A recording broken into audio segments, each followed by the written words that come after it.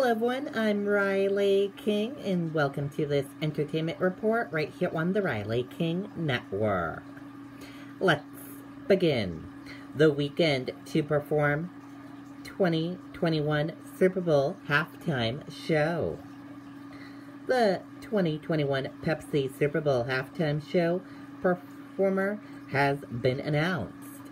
The Weeknd will take America's biggest stage on February 7th in Tampa, Florida. It was announced on Thursday yesterday. Jay-Z's Roc Nation is serving as the strategic entertainment advisor of the Pepsi Super Bowl halftime show.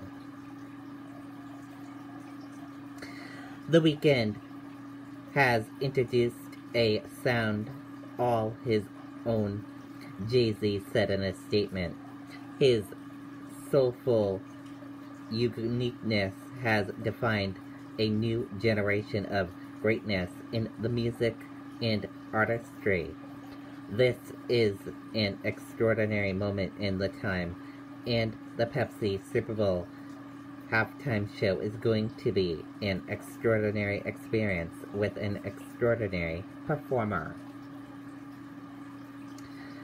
The Weeknd, whose real name is Abel Tesfaye, teased the big news prior to the announcement on Instagram with videos of himself with flashing blue lights. He wrote, LV813, he wrote.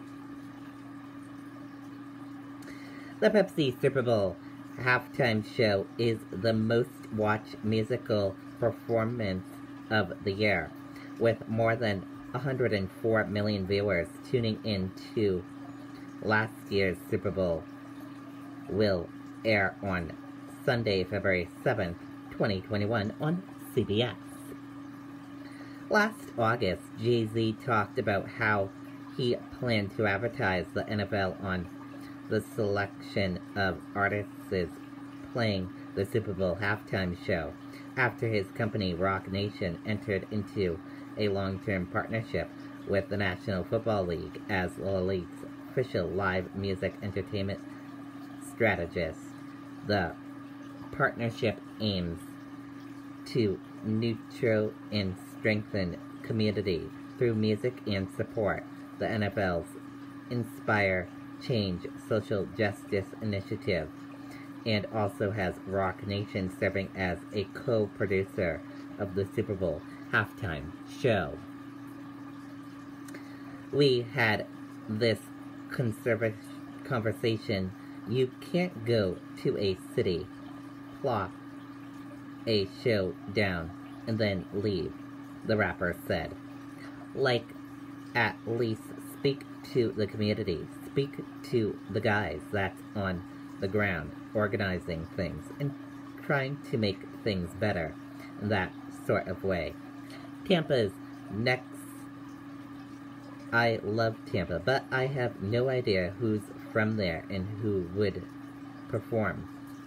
In February, Jennifer Lopez and Shakira gave a widely praised performance for the Super Bowl Pepsi halftime show that took place in Miami, Florida.